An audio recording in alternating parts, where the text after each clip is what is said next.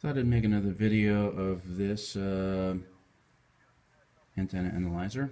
Um, it's a pretty good one. Uh, the only problem is that as I paid a little bit extra for the thing to be able to be used with my Android device, uh, it for some reason doesn't want to work. Um, anyhow, uh, as per the instructions to make this pair, you have to push the set button and you'll see that it uh, displays PC link. Push the down button till it beeps and waiting link. Um, actually, I'll just show you how this looks with before. I'm going to unpair that just so you see what it looks like. Okay, and so obviously it does identify it.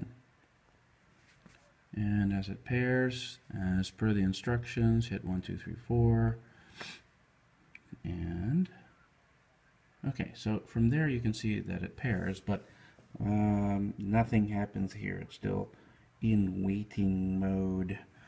When you, when I go to open up the software also and try to connect, the device is not authorized. So, try to send a, uh, an email uh, or actually a message via eBay to the guy that um, created the thing. And uh, it's been about a week now. haven't uh, gotten any response. And uh, if any of you have had similar uh, issues with this device, you know, um, let me know. Um, send me um, a message or email. Uh, I'd appreciate it. And um, maybe we can all share our experiences with this uh, neat little uh, device. For the price, um, not bad. Without Bluetooth, probably about $100. Um, you have to pay a little bit more for shipping.